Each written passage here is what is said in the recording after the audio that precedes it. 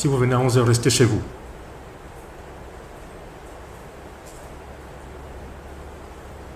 Si vous venez à 10h, restez chez vous, s'il vous plaît.